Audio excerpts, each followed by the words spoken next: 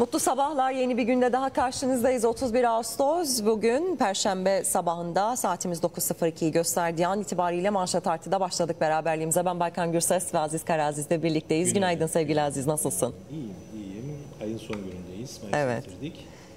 Hızlı bir şekilde e, Ağustos ayını da tamamladık artık. Eylül sıcakları daha alıp gelecek mi Ağustos yoksa Eylül'e bırakacak mı? Merakla bekliyoruz. tabii. Ee, Sağlık Bakanı Sayın Hakan Dinçüre'yi ağırlıyoruz bugün stüdyomuzda. Biraz e, görevi de yeni devraldı. Hedeflerini konuşmaya çalışacağız. Sağlık sisteminde gözlemlediği sorunları ve çözüm önerileriyle ilgili nasıl adım atacağını konuşacağız. Hoş geldiniz diyelim size öncelikle. Günaydın. Günaydın. Nasılsınız? Günaydınlar. Bizi izleyen herkese de sağlıklı, hayırlı günler dilerim. Her şeyin var. Sağ olun. Kesinlikle. Tabii Sağlık Bakanlığı zor bir bakanlık. Ee, her ne kadar sağlık sisteminin e, bir bütün olarak değerlendirdiğini düşündüğümüzde bireylerin de memnuniyeti, sağlık e, açısından memnuniyeti son derece önemli ve yükü biraz daha artırıyor galiba bakanlık üzerinde. Ee, önce hayırlı olsun tabii yeni göreviniz. Az sonra konuşacağız e, bu dönemde ne hedeflediğinizi ama Sağlık Bakanlığı ne ifade ediyor? Yani ülkede Sağlık Bakanı olmak bireysel sorunlarla meşguliyet e, içerisinde olmak mı yoksa sistemin bütününü dokunur hamlelerle sistemi iyileştirmek mi? Nasıl tanımlarsınız? Şimdi herkesin malumu olan bazı şeyleri önce bir kısa bir tespit yapıp söyleyelim ve e, bizim için ne ifade ettiğini e, daha rahat anlatma şansım olabilir diye düşünürüm.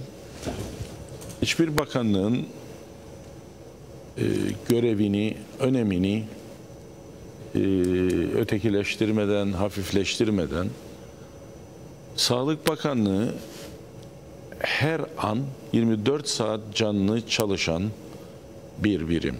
Başka birimler de var devlette 24 saat çalışan. Ama yaşamla ölüm arasında saniyelerin gidip geldiği bir e, durum söz konusudur sağlıkta. Dolayısıyla bizim dosyayı yana koyup bir düşünelim. Bir de uzman kişilerden, devletin diğer birimlerinden görüş alalım, istişare edelim ve devam edelim Deme şansınız deme bulunmuyor. lüksümüz yoktur. Ee, ben tabii ki yıllarca bu e, ülkede gerek kamuda gerekse özelde en yoğun şekilde hekimlik yapan bu sistemin içinden gelen biriyim. Ee, ben dolayısıyla Artıları da biliyorsunuz, eksileri de. artıları da eksikleri de biliyorum ve başta sağlık çalışanları sadece hekimler değil bizim takım arkadaşlarımız var. Hemşireler var yardımcı sağlık personelleri var fizyoterapistler var laboratuvarlar var var var var. Geniş bir takımdır. Bu takımın irili ufaklı dişlileri var ama hiçbir dişli olmazsa biz bu sistemi çeviririz diyebileceğimiz bir sistem değil sağlık. Tüm dişlilerin düzgün, ahenkli çalışabileceği bir ortamda netice alabilirsiniz. Dolayısıyla e, bütün bu sistemin içerisindeki güçlü yanlarımızı, zayıf yanlarımızı ve nedenlerini tabii ki meslek hayatım boyunca 30 yıldır yaşayarak bu ülkede e, gözlemledim, deneyimledim. Benim açımdan sağlık az önce söyledim. Yaşamla ölüm arasında olmazsa olmaz bir bakanlıktır. Anlık karar üretmeyi gerektiren ve neredeyse sürekli anlık kararlar üreterek sıfır hatayla çalışma zorunluluğu olan bir bakanlıktır bakanlık olarak söylemiyorum. Hastaneleri, sağlık ocaklarını, yoldaki kazalara müdahale eden 112 paramediklerinden bahsediyorum. Hep biz burada olurken bile şu anda birçok karar üretiliyor sağlıkta, sağlık çalışanları tarafından. Ve bunun neredeyse sıfır hatayla olması hedefleniyor. Ve doğaldır. Her can, her birey bizim için çok kıymetlidir. Bunun parasal karşılığı yoktur bizim nazarımızda. Düşünün ki on binlerce ameliyat yapılan Burhan Nalbantoğlu Devlet Hastanesi'nde başarılı ameliyatlar yapılan her yıl üzerine konarak bir önceki yıl yurt dışına gönderilen vakaların bir sonraki yıl burada yapılmaya başlandığı bir ortamda biz güzellikleri hiç öne çıkaramıyoruz. Neler yapıldığını, nasıl yapıldığını, kimlerin hangi koşullarda bu hizmeti sürdürdüğünü, üstelik de kesintisiz sürdürdüğünü, 24 saat, 365 gün. E, Bunları konuşamıyoruz. Neyi konuşuyoruz? Eksiklikleri, memnuniyetsizlikleri ve e, tıbbi bir hata olmasa dahi malpraktis deriz biz buna. Yani hekimin kararı ya da uygulamasının yanlışlığı. Malpraktis olmasa bile bir hastanın hayatını kaybetmesi ya da vücudunun belirli kabiliyetlerini, fonksiyonlarını kaybetmesini öne çıkarabiliyoruz. Sağlık çalışanlarının başta e, hekim, hemşire olmak üzere herhangi bir hatasının olmamasına rağmen dünyanın her yerinde aynı durumun varabileceği sonucun aynı olduğu, üç aşağı beş yukarı durumları bile biz manşetten olumsuzluk olarak konuştuğumuz bir ortam sağlık. Nedir sizce bunun sebebi peki? Ee, az önce söyledim. Her birey, her can bizim için değerlidir. Birinin bir fonksiyonunu kaybetmesini e, Hayır, dediğiniz yani örneğin başarıları konuşamıyoruz. Çoğunlukla hep sıkıntıları ve sorunları genelde gündemde çok yer almaz. Şikayetler, olumsuzluklar e, medyada, sosyal medyada daha fazla yankı yaratıyor ve bunlar daha çok e, bazıları da bilgiden yoksun yorumlarla e, medyada her zaman yer alır. Bu bugün için değil, geçmişten gelerek e, toplumumuzun bir e, olaylara tepki Bu psikolojisi ilgisi var bence. Yani böyle kötü olaylara daha fazla eğiliyoruz. Bir kez daha söyleyeyim yani her canın her canın büyük bir değeri ve önemi var. Belki de bunun e, bir sonucudur bu e, ortaya çıkan. Ama her konuda da bu böyle. Yani sağlık Ben şuraya varmak istiyorum. yapıyor. Gerçekler, tespitler bunlar. Ee, her e, yiğidin bir ortaya işi vardır. Ben Sağlık Bakanlığı'nı yönetirken hep inandığım şeyleri arkadaşlarımla istişare ederek hayata geçirmek için bakanlığı törensel anlamda devralmasam bile Cuma akşam üzeri e, açıklandığı andan itibaren sağlıktaki paydaşlarla, sendikalarla, başhekimlerle, yöneticilerle anında temasa geçtim. Hafta sonu e, her gün cumartesi ve pazar e, o iki gün onun 12 saatin üzerinde yerinde toplantılar yaparak geçirdim. İstişarelerde bulundum. Kendi düşüncelerimi aktardım. Onların acil sıkıntılarını aldım. Ve inandığım bir şey var. Her zaman da bunu hastanede çalışan bir hekim olarak, uzman hekim olarak da savunduğum bir şeydi. Aynı şeyi gene savunurum ve arkadaşlarımla da paylaşırım. E, ve aynı şekilde meslektaşlarımın da e, takım arkadaşlarımın da sendikaların da e, aynı pencereden baktığını görmekten de büyük bir mutluluk duyarım ve teşekkür ederim onlara da buradan. Bu da şudur. İlave bir hastane, ilave bir cihaz, ilave bir personel başta olmak üzere. Bunlar olmadan bile sağlıkta bir miktar organizasyonu düzelterek, motivasyonu artırarak birbirinin dilinden anlayan, diyaloğa açık, sorunları anında yerinde çözebilme becerimizi ortaya koyarak, bu da istişareyle olur, bu bir takım çalışmasıyla olur ve çalışan bütün sağlık paydaşlarının aynı frekansta bakıp gayret göstermesiyle olabilir. Hiçbir şey yapmadan çok kısa sürede halkın hissedebileceği minimum yüzde otuz mevcut performansı yukarıya çekmek mümkündür. Hiçbir Ekstra bir ekstra bir şey yapmadan. organizasyon dediğiniz şey önemli. Yani ciddi bir dağınıklık mı yaşıyoruz peki? Yani organizasyonla ilgili bir sıkıntımız mı var? Organizasyon ve motivasyon dediğiniz Ee, ayrıca. Sağlık çalışanlarının motivasyonunu yüksek tutmak çok önemlidir.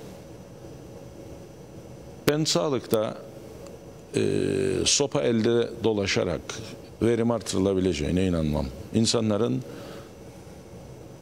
özellikle sağlık çalışanlarının mesleklerini severek ve özveriyle yaptıklarına yaşayarak şahitlik yapan biri olduğum için önce onları dinledim e, bildiğim ama onlardan bir kez daha duymak istediğim cümleleri aldım ve ilk günden itibaren de nokta atışı e, sorunlarını çözmek için hamleler yapıyorum.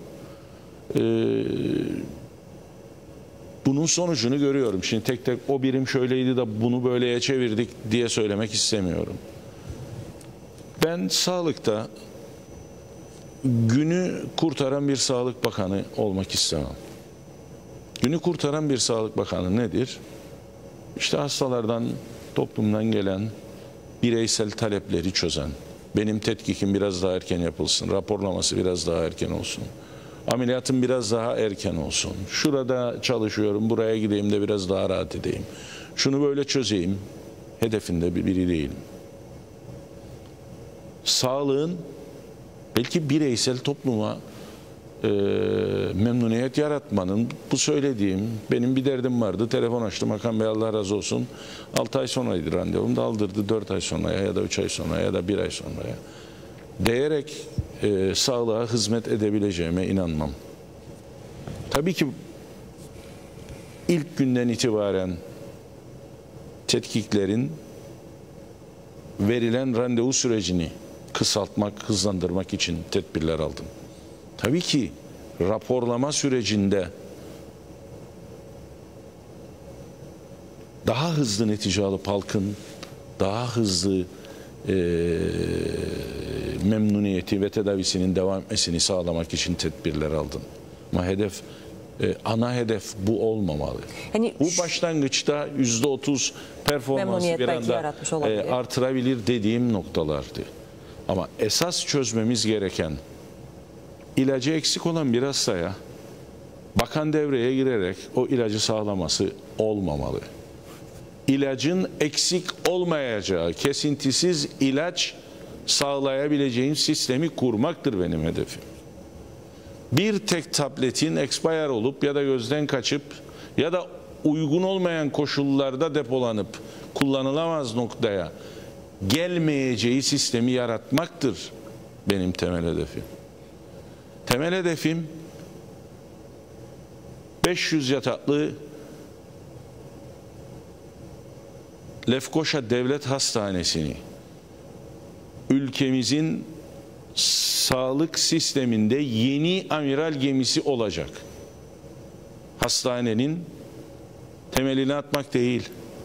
2025 yılı içerisinde Anavatan Türkiye ile istişare ederek bitirme hedefini kendimize koyduğumuz bir sistemdir. Yani kısa, Bunu orta ve tabii ki uzun vadeli sadece bir takım bana bağlı Hakan'ın isteği ya da performansıyla olmayacağını bilirim. Ama bir şeyi başarmak için kendinize bir hedef koymanız lazım. Ve bu hedef küçük memnuniyetler değil, sistemi düzeltmektir. Bugün benden önce başlayan ve belli bir noktaya gelen Girne Hastanesi'ni Mart 2024 civarında bitirip hizmete sokma hedefidir. Bu vesileyle benden önce çalışan tüm sağlık bakanlarına da teşekkür ederim. Bu bir bayrak yarışıdır. Ben e, devralırken de bakanlığı bu cümleyi kullandım. Benden önce herkesin hedefi sağlığı ileriye taşımaktır.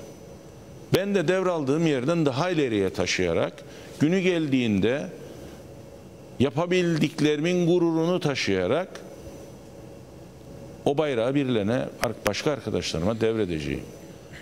Bunun bir bayrak yarışı olduğunu ve belli bir süre bir bakanlıkta bir siyasi bulunur. Bunun bilinciyle hiç kimse herhangi bir koltukta sonsuza kadar oturmadı oturamayacak da. Böyle bir şey yok. Bu işin doğası, hayatın, yaşamın doğası, siyasetin doğası görevlere gelinir. Tabii bizim ülkemizde biraz daha e, sık değişimlerle yüzleştiğimiz için bu söylediğiniz noktayı Ee, tabii ki ülke siyasetinin istikrarsızlık diğer e, kısmıdır. Ama ben belirli hedeflerle size anlatmaya çalışıyorum. Bugün Dip Karpaz'dan kalp krizi geçiren bir hastayı alıp Mausa Hastanesi'ne getirene kadar kaybettiğimiz canlar var. Biz bunların bilincindeyiz.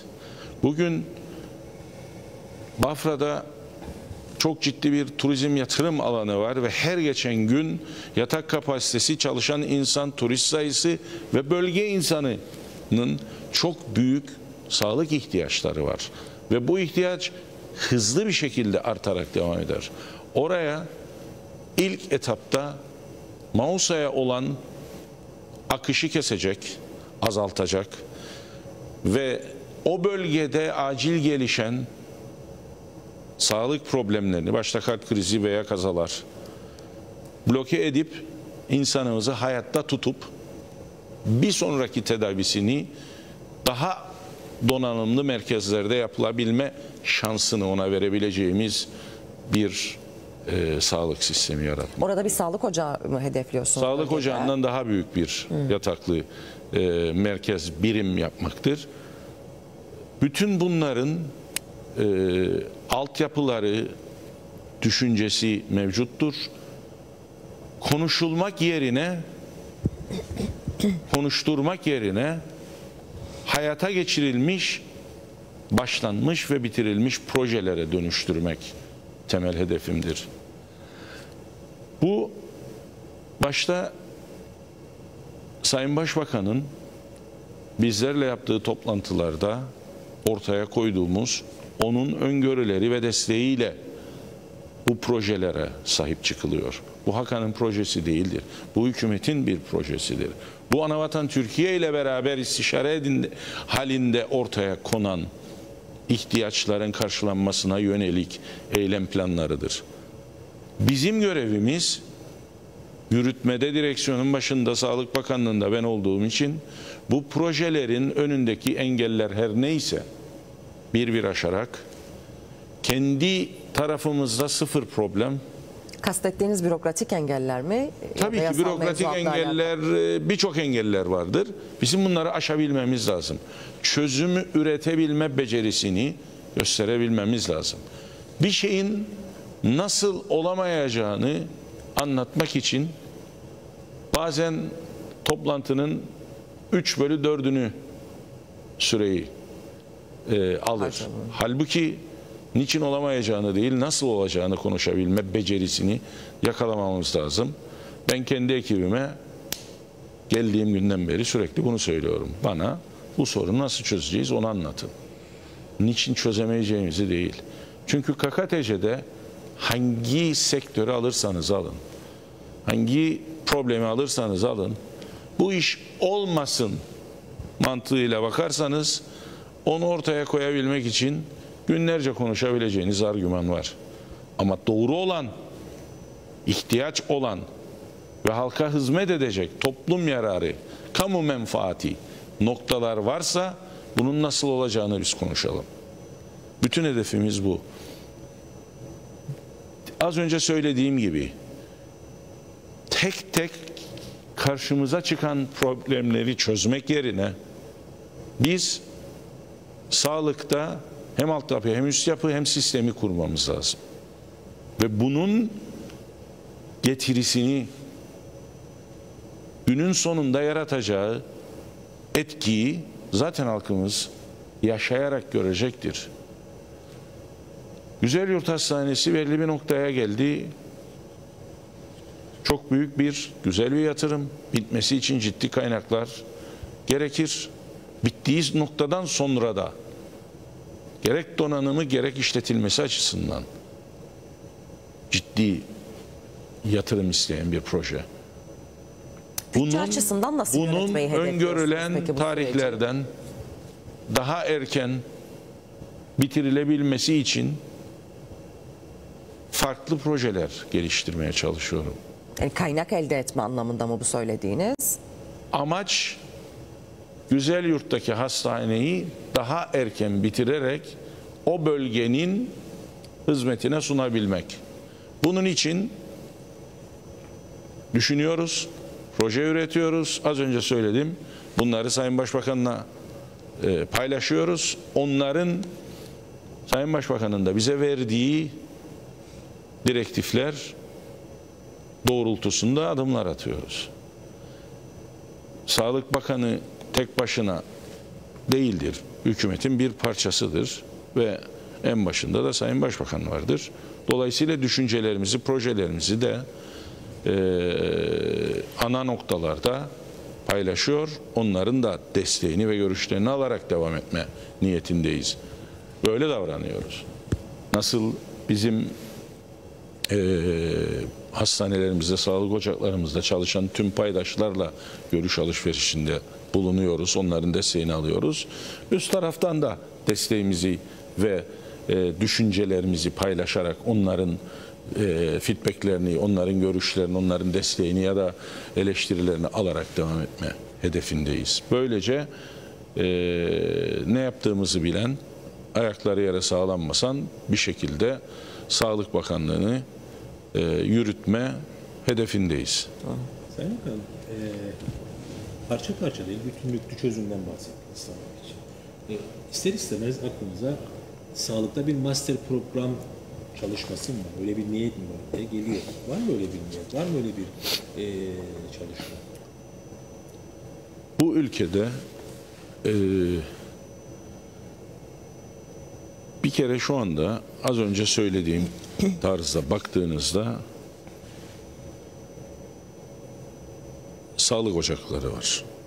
Temel sağlık dairesine bağlı. Bunların bölgelerde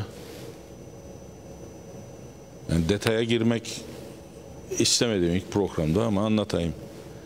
Bölgelerde e, orada yaşayan insanımıza çok ciddi bir e, hizmet götürüyorlar.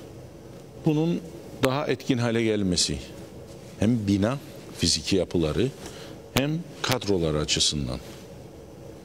Bunun üzerinde çalışıyoruz. İki, en çok hayati önem taşıyan noktalardan biri 112 e, ambulans hizmetleri olaya, olay yerine ilk giden, ilk müdahale eden ve olaya müdahale süresinin az önce söylediğim yaşamla ölüm arasında olduğu bir birimdir. Bunu daha etkin hale nasıl getiririz diye çalışıyoruz. Ee, yani daha paydaşlarla paylaşmadığım için buradan e, onlarla görüş alışverişinde bulunmadan, onların onaylarını almadan burada konuşmak istemiyorum. Ama onun üzerine ciddi bir mesai harcıyoruz. Olay yerine gidecek ambulansın daha kısa sürede, daha etkin bir şekilde e, hastanın olayın başında olabilmesini sağlamak veya e, hastamızı hem ilk müdahale hem de devam edeceği, esas tedaviyi alacağı e, noktaya taşınmasını Yani ağ mı genişletme hedefindesiniz ilk nazarda bu söylediğinizle ilgili? hedef söylediğim nasıl yapacağımız konusunda daha çok yeniyiz. Bir ekip Teorik olarak kafamızda çözdük pratiğini e, paydaşlarla paylaşarak çözebileceğimiz bir noktadadır. O yüzden buradan onunla ilgili bir şey söylemek istemem. Ama şunu söyleyeyim. Adada bazen belli noktaları düşünün. Çok sık yaşadığımız bu trafik kazalarını düşünün. Bir kalp krizi olduğu zaman bir akut pulmoner ödem dediğimiz e, solunumla ilgili ciddi sıkıntı ve gene hastanın hayatına sebebiyet verebilecek olay geliştiği zaman buna bir ambulansın gitmesi yeterlidir. Alacak hastaya gelecek bir kişidir. Toplu enfarktüs geçiren olmaz. Ama bizim ülkemizde çok sık insan hayatına veya sakat kalmasına sebebiyet veren trafik kazaları var, iş kazaları var. Bir trafik kazası düşünün ki ambulansla transportu gereken 5 tane 10 tane hasta. Nasıl çözeceksiniz bunu? Hangi bölgede sizin aynı anda konuşlanmış devlet olarak e, ambulansınız var? Kaç tane ambulansınız var? Bu sistemi proaktif düşünmemiz lazım. Yani böyle bir kaza olmadan, böyle bir kaza olursa ben nasıl çözeceğimi planlamanız lazım. Olduğu gün e, yaparız? yandım anam diyerek e, e, arayış içinde olmak başkadır. Bunu önceden senaryosunu oynayıp çözümleri üretmek başkadır. Az önce size anlatmaya çalıştığım zaten konulara bakış açımızdaki belki de e, fark burada olacaktır. Biz sorunu oluşmadan sistematik çözmek istiyoruz. İlaç bitmeden bitmeyeceği sistemi kurmak istiyoruz. Hastaların tetkikleri ve tedavilerindeki süreyi azaltabilecek. Biz dokunarak azaltacağımız, bakanın dokunup azaltacağı, kısaltacağı değil, sistemin kendi içerisinde randevu sistemlerini ve e, hizmetin e, insanımıza ulaşmasını daraltacak, süreyi kısaltacak uygulamaları hayata geçirmek istiyoruz. Sayın Bakan şimdi bu bütün bu saydıklarınızı tabii şekillendirmek, geliştirmek için bir bütçeye de ihtiyaç duyuyorsunuz. Yani bir ekonomik gücünüzün olması gerekiyor. Ee, şimdi hep yıllardır tartışılan noktalardan birini oluşturuyor. Bakanlık bütçelerinin yetersiz olduğu hedefleri gerçekleştirme noktasında e, elinizi zayıflatan en önemli unsurlardan biri olduğu noktası. Şimdi az önce bir ifadenizde bazı projeleri tamamlamak için e, bir takım öngörülerimiz var, değerlendirmelerimiz ve çalışmalarımız var dediniz. Kaynak yaratmaya dönük mü bu? Yani hedeflediğiniz Bir sorunları kaynak yaratmaya dönük. Evet doğrudur. Bir de bütçe bir öngörüdür. KKTC bütçesi de bir öngörüdür. Gelirlerinizi öngörürsünüz. Gerçekleşmeyen gelirlerin ne kadar gerçekleşebileceğini varsayarak yaptığınız bir bütçedir. Ve o varsaydığınız gelirlere göre bir giderler kalemi oluşturursunuz. Bir kere sağlıkta gerçekçi bir öngörü yapma hedefindeyiz. 12 ayın belirli bir dönemi 12 ay tamamlanmadan bitebilecek bir bütçe kalemleri değil 12 aylık eee, ihtiyacı doğru tespit ederek bilimsel verilere dayanarak bilimsel veriler ışığında daha gerçekçi tespitler yaparak bir bütçe oluşturmak gerekir ve bunu hayata geçirebilmek lazım. Az önce de söyledim ben sağlıkta onkoloji hastalarının ihtiyaç duyduğu ilacı bu dosya beklesinde 2024 bütçesi açıldığındaki e, kalemden alalım ve verelim deme hakkımız yoktur. Bir ameliyat yapacaksak onun için gereken sarf malzemeyi kalsın bu ameliyat 2024 bütçesinden yaparız deme lüksümüz yoktur. Bu başka bakanlıklarda arzu etmesek de olabilecek bir noktadır. Bir dosya, bir müracaat durur, inceleyeceğiz bunu der. 6 ayda, yıllarca da beklenen dosyalar var. Bir proje, görüş üretilip de geri dönülsün diye. Sağlıkta böyle bir lüks yok. Bunun bilinciyle çalışıyoruz. Ona göre. Bir örnek vereyim. Demin konuşurken de söyledim. Ee,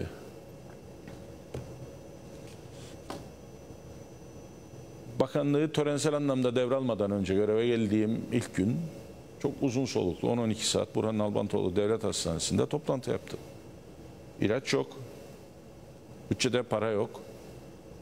İlaç eczacılık deposunda stok yok. Hastanelerde de son kurşun namlu, yani namludaki son mermi noktasındayız. Ne yapabiliriz? Hemen hafta başı birinci eee bizim ilaç ihtiyacımız nedir ve diğerlerine geçmeden Maliye Bakanlığı'yla görüştük. 20 milyon TL'lik bir kaynak yarattık.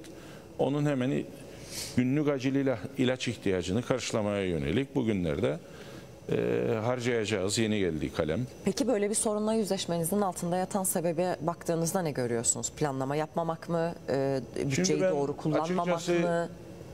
e, teknik ekibe sordum. Bizim bir aylık ilaç ihtiyacımız nedir?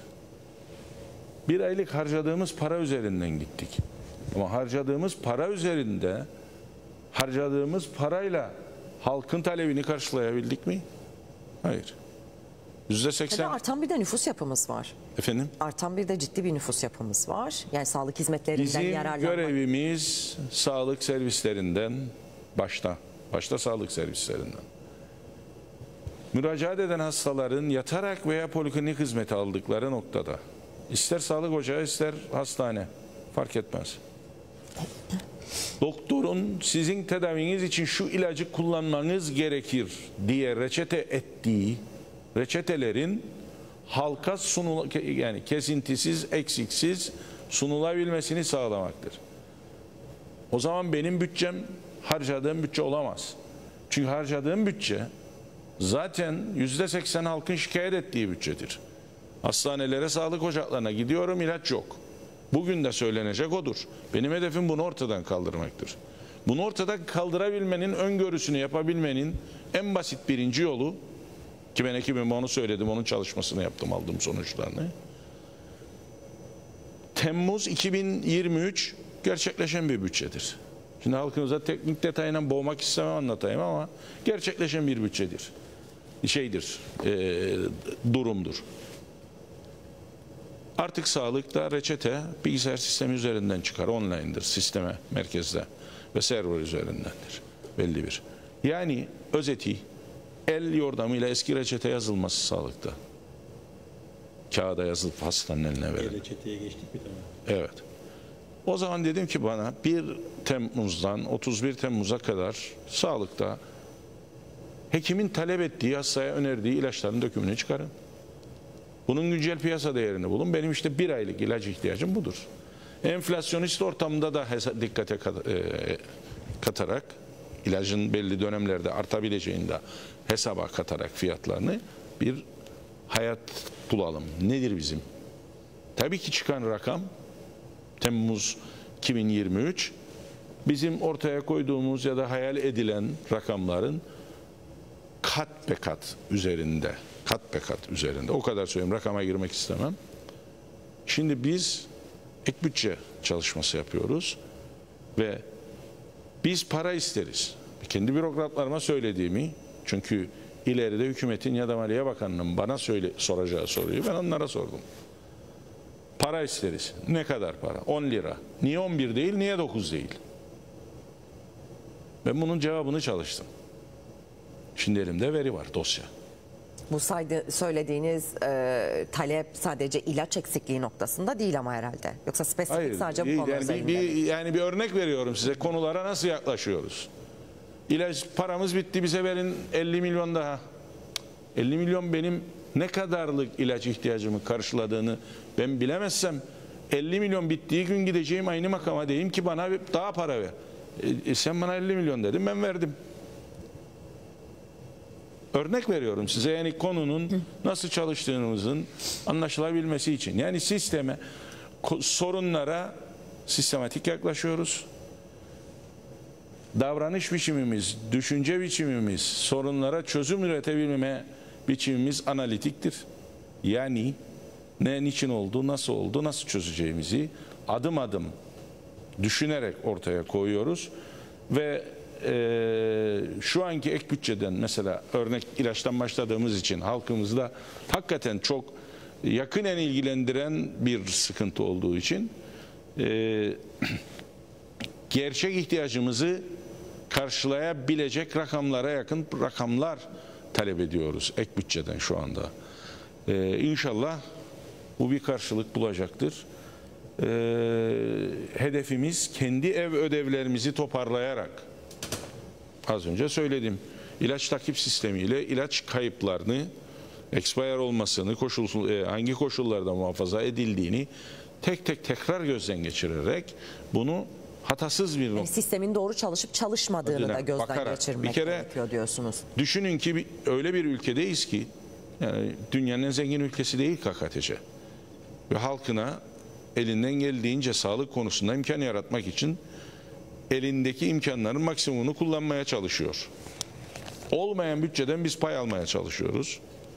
O zaman bizim lüksümüz yoktur. Bize sağlanan kaynağı etkin kullanmamak gibi bir lüksümüz yoktur. Bunun ziyan olabileceği bir ortamı bugünden itibaren yaratmamamız lazım. Bu da bizim en asli, en temel görevimiz. Topluma karşı da sorumluluk bu noktada.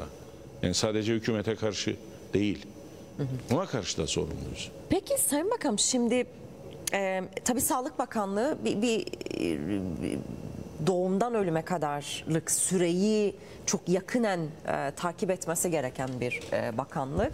Siz başından beri hep ekip işine ve kolektif çalışmaya vurgu yapıyorsunuz. Yani mutsuzluk noktalarını aşmak, sorunları aşmak noktasında e, bir takım çalışmalar ortaya koyduğunuzu söylüyorsunuz ama şimdi bakanlığın yükünü de biraz hafifletmek e, açısından örneğin bölgelerde belediyelerin de devreye girmesiyle sağlık sisteminin biraz daha hafifletilebilir olması, sağlık hizmetinin biraz daha kolaylaştırılması, vatandaşa ulaştırılması ile ilgili de e, bir hedef, bir projeniz var mı? Örneğin sağlık ocakları belediyelerin de desteğiyle daha güçlü bir noktaya getirilebilir mi?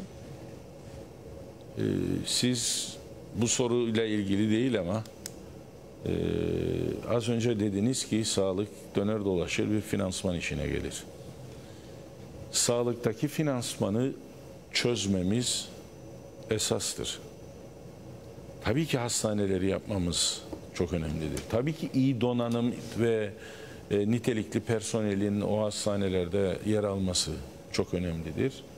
Ama sürdürülebilir finansmanı sağlıkta e, sağlayabilirsek bu bu ülkeyi e, sağlıkta birkaç kat çağ atlatacak bir noktaya gelecek.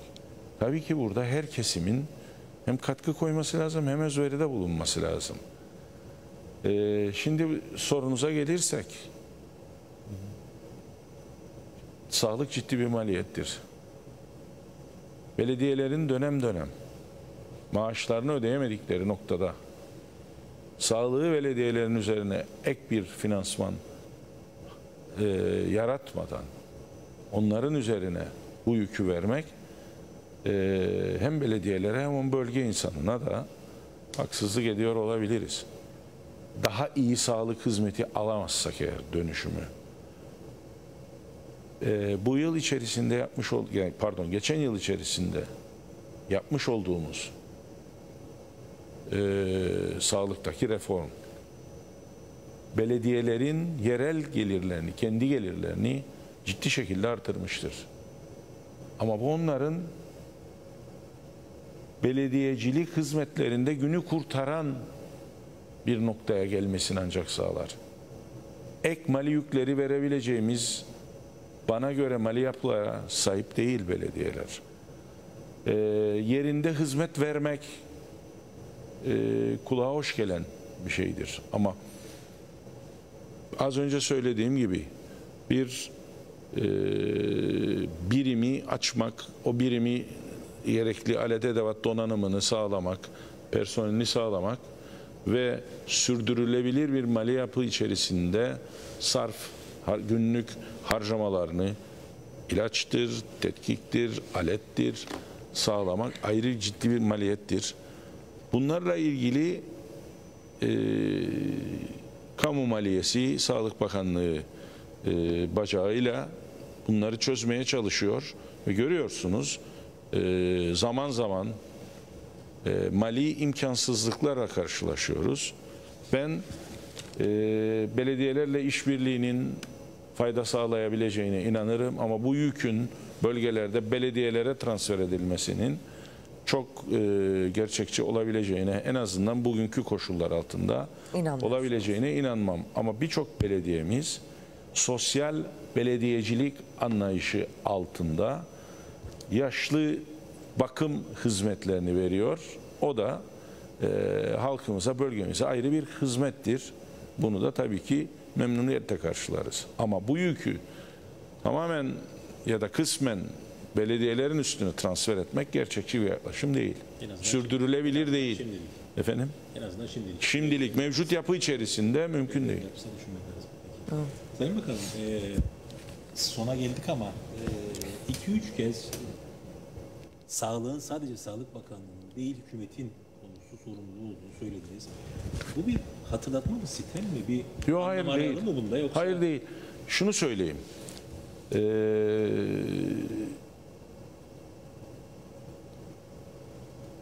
icraatlar, hükümetler bir bütündür bana göre. Bütçe yapacaksınız. Diyelim ki 2024 veya şimdiye ek bütçe. Bu bir hükümet politikasıdır. Hükümetin ek kaynak yaratma ve kaynak yarattığı ek kaynaktan size vereceği pay. Siz kendi projelerinizi, ihtiyaçlarınızı ve bunun aciliyetini doğru anlatmanız lazım. Doğru ortaya koymanız lazım ki oradan o takdiri, o anlayışı görüp size geri dönüşü olsun bunun. Tabii ki hükümetin desteği olmadan ne büyük projelere imza atılabilir ne de e, hizmetin kalitesi artırılabilir. Burayla da sınırlı değildir. KKTC'de çok büyük yatırımlar hep Anavatan Türkiye'nin desteği ve say- onun sayesinde olmuştur. Onlarla istişare noktasına o noktaya hazır hale gelmeye çalışıyorum ben bakan yeni bir bakan olarak. Önce kendi ev ödevlerimi yapmam lazım. Ve benim projelerim, benim bütçem, benim insan kaynaklarım, benim donanımım bu. Ben şunu yapmak isterim. Eksildiğim nokta bu. Somut projelerle gitmem lazım. Somut taleplerde bulunmam lazım. Tabii ki Anavatan Türkiye'den e, ciddi şekilde bize destek oluyor. E, yapılan birçok e, yatırım Anavatan Türkiye sayesinde. Pandemi dönemini düşünün.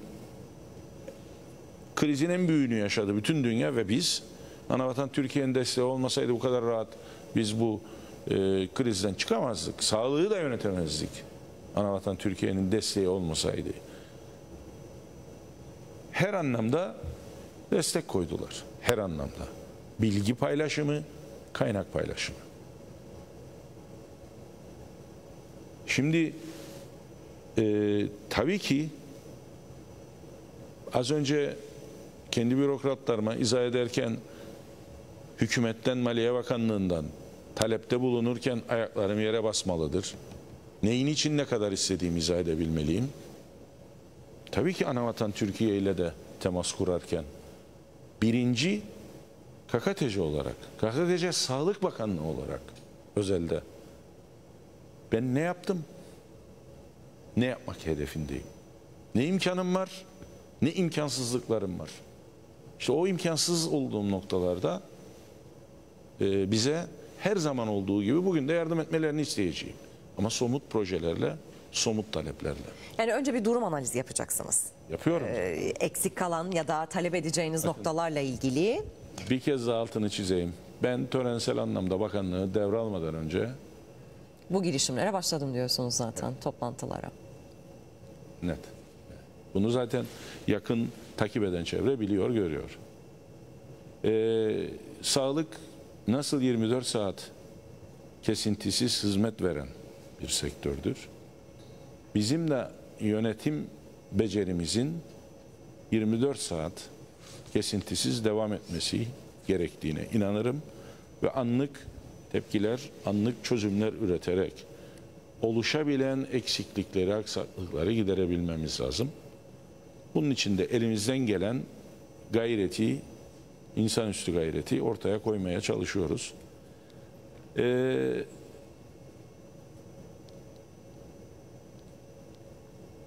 niye başarısız olduğumuzu değil, nasıl başardığımızı anlatabileceğimiz günleri ve programları özlüyorum. Evet. Temel hedefimiz bu.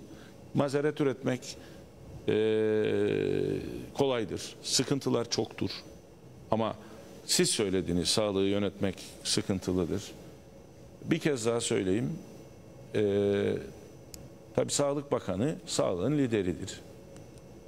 benim liderliğimde ama takım arkadaşlarımla beraber sağlığı daha ileriye götürmek hedefindeyiz. Ee, günlük eksiklerin peşinde tabii ki koşacak bir ekip kuracağız.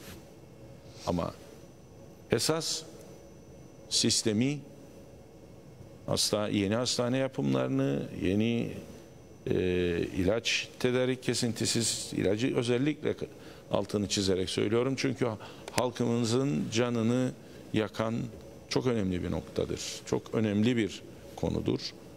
Bunun farkında ve bilincindeyiz. Çalışıyoruz. Bunları daha iyiye götürebileceğimiz sistematik çözümler. Bireyin çabasına değil, sistemin kendi sorun oluşmadan çözen bir yapıya kavuşmak için var gücümüzle çalışıyoruz. Kolay gelsin diyelim o zaman Kolay size. Dediğiniz gibi her dişçinin çalışması gereken bir bakanlık. Ülkede yaşayan herkesin doğrudan e, sorumluluğunu, Etkilendiği. sorumluluğunu taşıyan bir bakanlık. Kolay değil. E, sizin nezdinizde tüm sağlık çalışanlarımıza bir kez daha kolay gelsin diyelim. Çok teşekkür ederim sizlere de. Ee, başta e, bütün sağlık çalışanlarına buradan tekrar teşekkür ederim. Ve halkımıza net mesaj, sorunların farkındayız. Çözüm önerileri bellidir. Kısa sürede hissedilebilir değişiklikler e, hayata geçecek. Çok teşekkür ettik. Kolay gelsin, iyi çalışmalar diyelim size. O zaman belki bir sonraki programda somut bir takım e, hedeflerinizdeki e, gelişmeleri de konuşmuş tek oluruz. de- detay olarak bugün programda anlatmak istemedim. Peki bir sonraki programa kalsın. Peki çok teşekkürler, iyi çalışmalar diyelim size. Evet. Bugünün de sonuna Evet, geldik sevgili olduk. seyirciler. Yarın yeniden görüşünceye kadar hoşça kalın, sağlıkla kalın. Görüşmek dileğiyle, hoşçakalın.